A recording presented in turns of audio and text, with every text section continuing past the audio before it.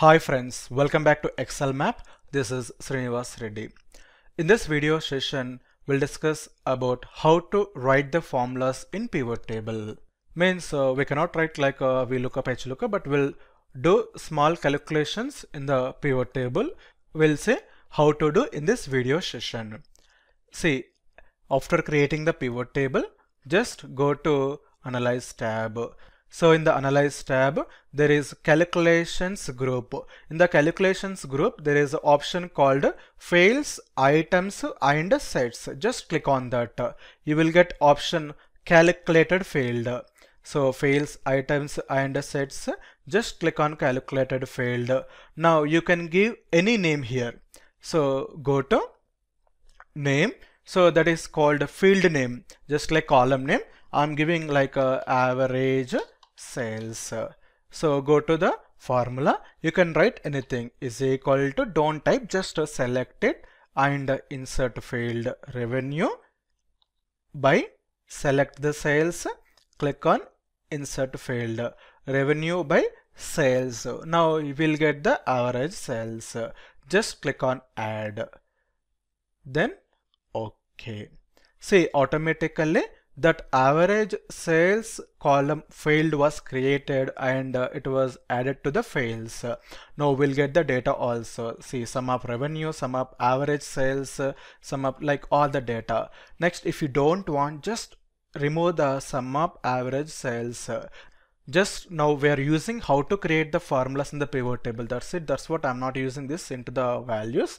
So like this we'll create the formulas in pivot table. Just we can do addition subtraction multiplication also. And uh, we'll see another example see here there is a sales report. In the sales report uh, there are product uh, customer quarter 1 quarter 2 quarter 3 quarter 4 like so on data is there. Now first of all create the pivot table. Go to insert uh, click on pivot table. Now you can say okay.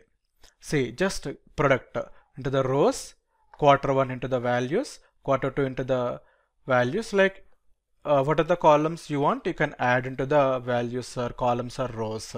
After that go to analyze the tab calculations group fields items and sets calculated field.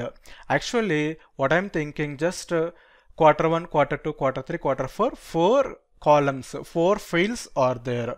Now here i want to do sum of all the quarters. So normally people will ask like this. Uh, quarter 1 is a quarter 2 is b quarter 3 is uh, c quarter 4 is d. You can do a plus b plus c by 2d like this kind of scenarios this kind of equations they will ask. So here i want to do sum of these four quarters now here the name I am giving just quarters. I'm not writing like sum because by default you will get sum of quarters, average of quarters, count of quarters automatically. So that's just give name quarters only. Now write the formula is equal to quarter 1 insert plus quarter 2 insert field plus quarter 3 insert field plus quarter 4 insert field See, without typing, just I'm adding. The name is quarters and the formula is quarter 1 plus quarter 2 plus quarter 3 plus quarter 4. After that, just click on add. Then you can say, okay. See here we got sum of quarters. In the fields also we got sum of quarters. Uh, if you don't want you can remove from this. See like this uh, we'll write the formulas in the pivot table. That option is there in the fields items and sets uh, calculated field give any name and you can write any formula here so that you can add that extra field uh, into the pivot table. So friends, this is how to write the formulas in pivot table. Thank you friends for watching this video.